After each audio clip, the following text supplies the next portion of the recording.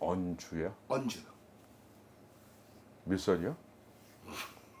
아 근데 이분 그분이잖아요. 국힘에서 원래 꼴통이야 그 사람은. 이분이요? 응, 여자임에도 꼴통이라고. 72년생이요. 아 쥐띠구나. 예. 내가 오빠네.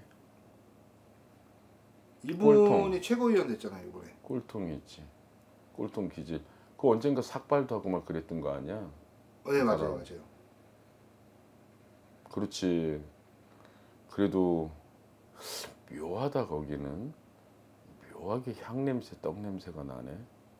종교가 뭔지 모르겠는데 묘하네.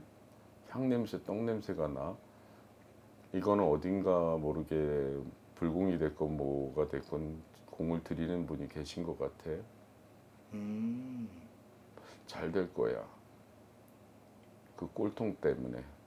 아, 그? 양반은 그걸로 계속 밀고 간다 보면은 음, 장차관 같은 거는 장관 같은 거 그분 뭐 따는 당상이고 아무튼 야무지잖아.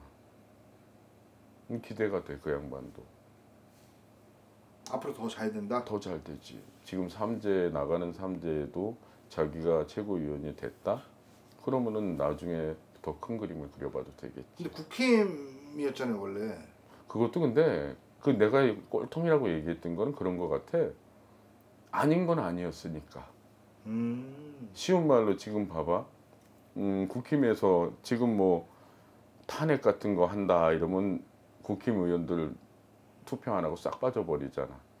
그런 걸로 그 국회의원들 국민의힘 그쪽에서도 그 최상병 사건부터 그런 거 조금 아니라는 거 마음에 갖고 있는 사람들이 있잖아. 근데 그런 거 부분을 갖다 당에서 강압적으로 시키니까 그거에 대해서 탈퇴하고 아닌 거에 대해서 불합리하니까 그러니까 꼴통 기질을 발휘하는 거겠지. 음. 그렇게 해서 뭐 국힘하고는 어떻게 됐는지 모르지만 여자임에도 이 사람은 똘끼가 있어가지고 아닌 건 패 죽여도 못하는 사람이지.